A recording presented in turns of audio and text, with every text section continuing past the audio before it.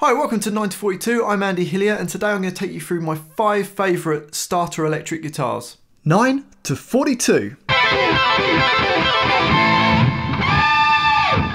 So, if you're thinking about buying your first electric guitar, uh, here's five guitars that are worth looking through. Um, before we go into what guitars I recommend, first of all, if you're buying for your son or daughter and they're quite small, don't go and buy a three quarter size guitar. Um, I've never played a three quarter size guitar that's any good, or even half size. They're normally pretty rubbish, so you're better off getting a full size guitar. If it's an electric guitar, generally it's going to be quite small, so uh, reasonably manageable, even for like a kind of seven year old around that sort of age uh, and up. So first thing is get a full size guitar on an electric guitar. Um, it's a bit different if you're on a, um, a classical type guitar, but yeah, so that's my first little tip. Okay, so let's get on to the guitars that I recommend. Um, normally people do it in reverse and choose their favourite guitar at the end, um, but I'm going to do it uh, the other way around. So I'm going to start with the guitar that I recommend as my favourite starter guitar. Um, and it is the Yamaha Pacifica 112V. Um, they do do a 012, uh, but I don't really recommend that. Um, the tuners on it are nowhere near as good, uh, and the pickups aren't as good. Um, if you don't know what those are, don't worry too much. But uh, so yeah, the the 112V uh, by Yamaha. It's a great guitar. It pr- the price is around 238 pounds English sterling. Uh, I'm in the UK, so they're the prices that I'm, I'm sort of going on. Um, it's just a really solid guitar, uh, and I'm a complete guitar snob, and I've, I'm fortunate enough to have like quite a few nice guitars, uh, and yet I still take my Yamaha Pacifica around. Uh, I teach with it. I play it every day. It's a great guitar, really solid. Feels great straight straight away. Um, I can't recommend it highly enough. Okay, on to number two, um, uh, and it's the Squier Affinity Stratocaster or Telecaster. I'm kind of cheating there, so it's one guitar, but there, actually there's two guitars for my second spot. So either the Stratocaster or the Telecaster. It, kind of depends on what you prefer. Shape-wise, the Stratocaster is a slightly more comfortable shape, um, but the Telecasters are cool. Um, so it kind of depends on what you like the look of. Um, sound wise, uh, the Telecaster's perhaps a bit warmer, a bit fuller sounding uh, than the Stratocaster, but nothing major, and it's not really going to make a massive difference when you're starting out. Um, so it's a Squier Affinity Strat. Prices of those um, I saw in my local shop, um, Coda Music in Stevenage. Um, they're about 160 pounds uh, sterling. Uh, so a bit cheaper than the Yamaha Pacifica, um, but still a great guitar. It's just a classic guitar. Both of those guitars are both classic guitars. The nice thing is you can get like a fat Strat as well, which has a, a humbucker in the bridge. So if you want more rockier sounds, um, go for the fat Strat, um, which incidentally the the uh, Yamaha Pacifica has also got humbucker in the bridge. So it's also great for like rocky sounds. Um, so that's the Squier. If you want to spend a bit more money uh, than £160, the next step up in the Squier range is the Standard. And they've got a standard Telecaster and they've got a standard Stratocaster. Uh, and they retail about two, well, not retail, but they sort of sell for around 254 So the price point's going up a bit, um, but very good guitars.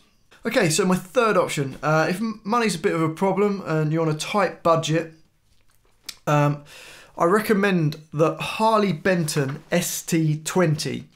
Um, the only place you can get this from is Thomann, um, which is uh, a German, it's like the biggest European guitar shop, superstore type place.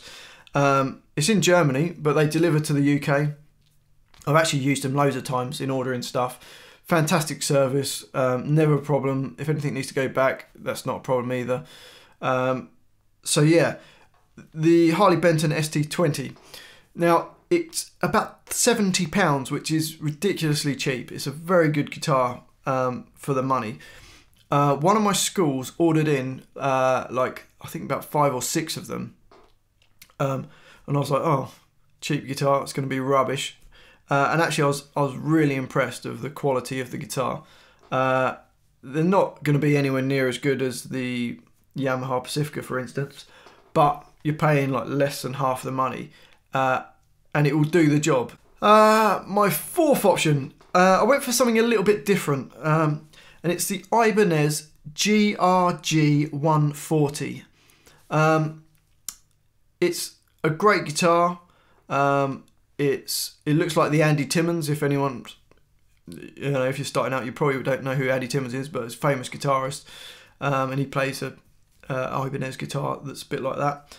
Um, so if you're something that look you sorry, so if you're after something that looks great, um, bit more rocky, bit heavier, um, kind of sounding, um, then uh, yeah, I highly recommend that Ibanez. It, it just looks cool as well. That retails about 180 pounds. Okay, on to my last one, my fifth one, uh, and it's for a Gibson type guitar, um, and I'd go for the Epiphone SG G400. Um, the price point's uh, I think around 250 pounds, uh, so it's not a cheap guitar. Um, Epiphone do make cheaper guitars, but all the cheaper ones um, tend to be a bit rubbish. I find, or you know, from my experience, I've seen. Um, so yeah, I've gone for the SG G400. Um, it's a good guitar, sounds fantastic, um, plays well. All the components on it are, are, are really good for the money. Two hundred fifty pounds. So there's my list of uh, guitars. Um, I didn't put any Les Pauls in there purely because they don't really come into the price point.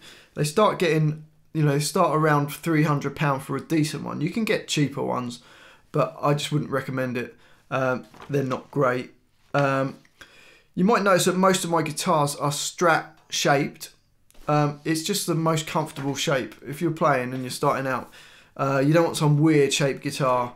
Uh, they're just not comfortable to play. They may look cool, and when you're standing up, and, and you know you might see some people playing them, and they look wicked, but they're just not comfortable. So recommend just getting a standard Strat shape. Um, buying a guitar, um, I always recommend your local guitar shop.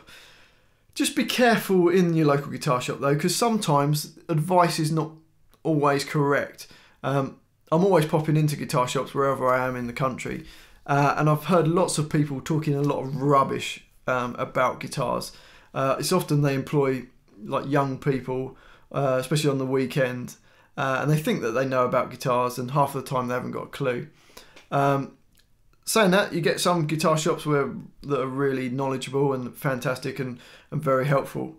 Um, I live in Bedfordshire area in the UK, uh, and there's a fantastic shop in Stevenage called Coda Music, which I've been going to for years and years, um, and they're really good in there. Other noticeable shops um, that I've used, GAK, uh, GAK, which is guitar amp um, keyboard. Uh, they're great, good service I've had from them. Uh, Digital Village, they're all through the country. Uh, they've been very good. Um, Andertons, I haven't used Andertons, uh, but I've watched loads of their videos on YouTube, uh, and they seem like they're pretty clued up as well. And the other one is Thomann, um, which is Germany, the German company that I talked about for my budget guitar. So the reason I've chosen these guitars is um, I teach hundreds of kids a week. I teach 200 ish kids a week. Um, so I've seen hundreds and hundreds of starter guitars, uh, lots of rubbish, uh, and these are the ones that I've picked out as the ones that I thought were good value and they were good starter guitars. Thanks for watching. Hope you've uh, found this useful. Uh, if you have, feel free to press the like button, press the subscribe button. Uh, if you've got any comments at all, anything that you think should be on the list, uh, shove it in the comment box. I'd love to hear from you. Uh, thanks for watching again, and I'll see you next time.